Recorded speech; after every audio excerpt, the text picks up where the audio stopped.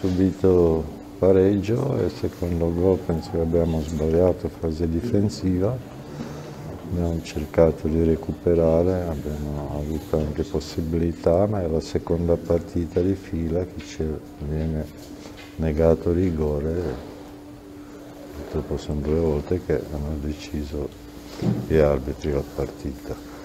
Poi secondo tempo cercavamo di recuperare, ma una squadra avversaria ha cominciato a perdere tempo, si sono persi i palloni e quindi non abbiamo trovato più ritmo di poter continuare a giocare. Ecco, ancora una volta però vediamo giocatori che eh, magari non, eh, non vanno così all'attacco come magari piace a lei o come sotto di 2 a 1, magari anche a 10 minuti dal termine ci si aspetta. Eh, ma di, di nuovo c'era rigore, abbiamo preso palo, di, di questo non si può fare, ripeto, come il gioco è stato spezzettato non si è giocato più, è difficile trovare ritmo e posizione. Ecco, però ritorniamo magari sull'1-0. Eh. C'è stato comunque un calo di tensione che ha permesso al Potenza di ritornare in partita?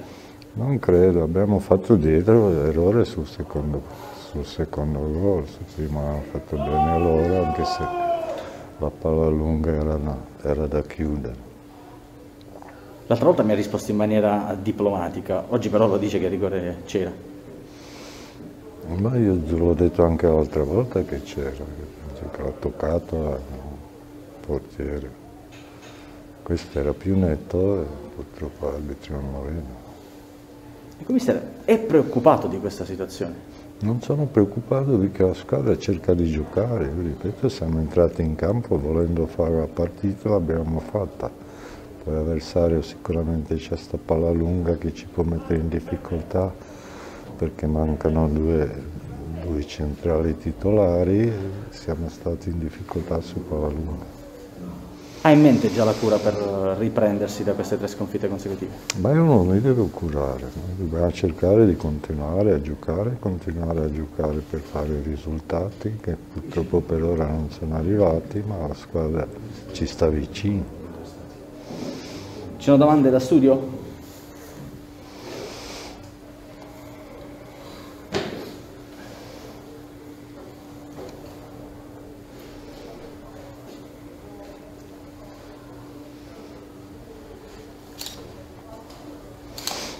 Ecco, Lello Scarano ci chiede, è abituato a vedere, siamo abituati tutti a vedere le squadre di Zeman che non mollano mai, invece forse manca proprio questo a questo gruppo oggi.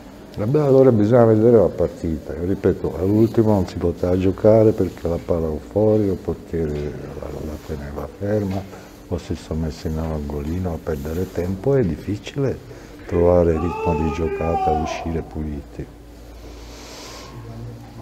Di nuovo studio.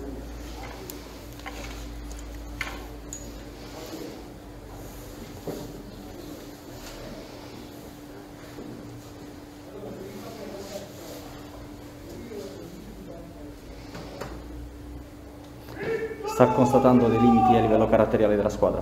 No, no, carattere anche oggi hanno dimostrato, hanno voluto fare la partita ripeto, secondo tempo non si poteva perché non c'era ritmo, non, la palla o fuori o ferma o dal portiere che perdeva tempo, è difficile poi trovare ritmo per poter attaccare, per poter andare.